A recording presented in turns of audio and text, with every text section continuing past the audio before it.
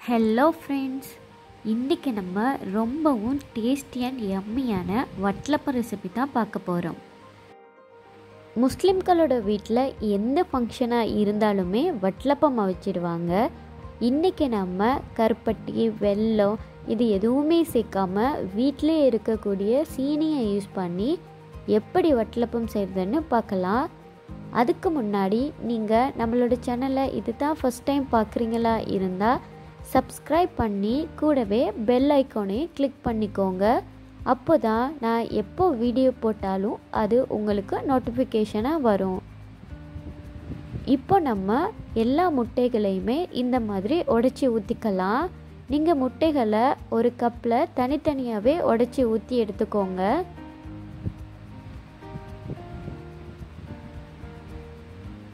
இந்த மாதிரி எல்லா முட்டைகளையுமே உடச்சி எடுத்ததுக்கு அப்புறமா இதை நம்ம ஒரு சைட்டில் வச்சுட்டு இப்போ நம்ம ஏலக்காய் பொடி ரெடி பண்ணிக்கலாம். நான் பத்தில் இருந்து பதினஞ்சு ஏலக்காவை சேர்த்து அது கூட ரெண்டு டேபிள் ஸ்பூன் சுகர் சேர்த்து நல்லா மிக்ஸ் பண்ணி எடுத்துக்கிறேன். நீங்கள் உங்களோட வீட்டிலேயே ஏலக்காய் பொடி இருந்தால் இந்த ஸ்டேஜை ஸ்கிப் பண்ணிக்கலாம்.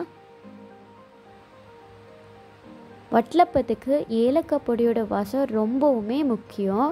அப்போ தான் நல்லாவே வாசனையாக முட்டையோட ஸ்மெல்லெல்லாம் போய் ரொம்பவும் அருமையாக இருக்கும். இப்போது ஏலக்காய் நல்லா பொடியாகி வந்துருச்சு. இதை நம்ம ஒரு பவுலில் மாற்றிக்கலாம்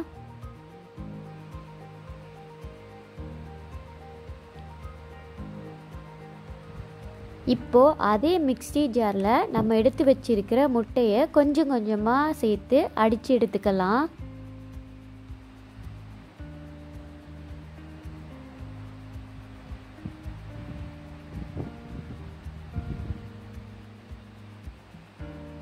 இப்போ நம்ம ஃபஸ்ட் பேட்ச் நல்லாவே மிக்ஸ் ஆகி வந்ததுக்கு அப்புறமா செகண்ட் பேட்சையும் சேர்த்து நல்லா ஒரு வாட்டி அடித்து எடுத்துக்கலாம். நீங்கள் பல்ஸ் மட்டுமே பண்ணி எடுத்தால் நம்மளோட மிக்ஸ்சர் இன்னமும் நல்லாவே ப்ளஃபியாக நமக்கு கிடைக்கும்.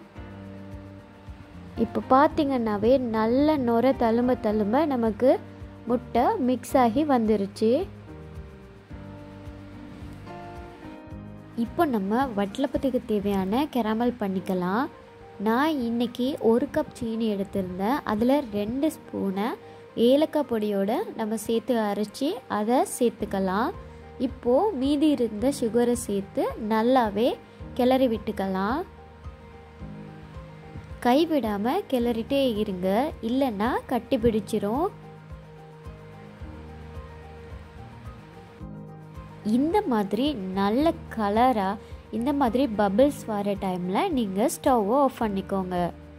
நம்ம ஆல்ரெடி ப்ரிப்பேர் பண்ணி வச்ச இந்த முட்டை மிக்சர் கூடவே நம்ம அரைச்சி எடுத்த ஏலக்காய் பொடி சீனி ரெண்டையும் சேர்த்து இன்னும் ஒரு வாட்டி நல்லா மிக்ஸ் பண்ணி எடுத்துக்கலாம்.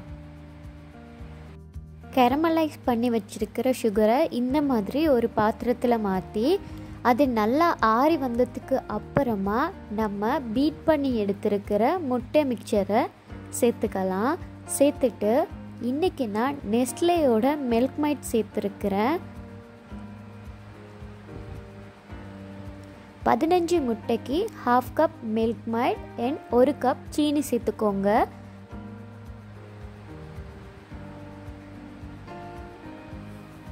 சேர்த்துட்டு நல்லாவே ஒரு வாட்டி மிக்ஸ் பண்ணி எடுத்துக்கோங்க.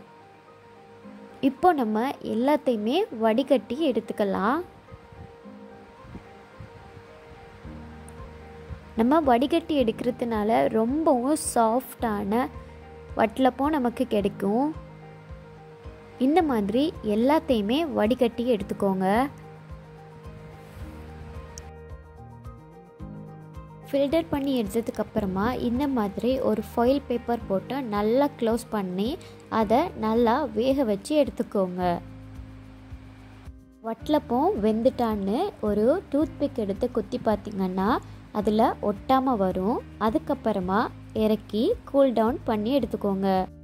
நல்லா சில்டாகி வந்ததுக்கு அப்புறமா ஃபாயில் பேப்பரை ரிமூவ் பண்ணிட்டு பார்த்திங்கன்னா ரொம்பவும் சாஃப்டான வட்டலப்பம் ரெடி ஆகியிருக்கு. வட்டலப்பம் மேலே நான் கார்னிஷுக்காக வேண்டி நட் சேர்த்துருக்கேன்.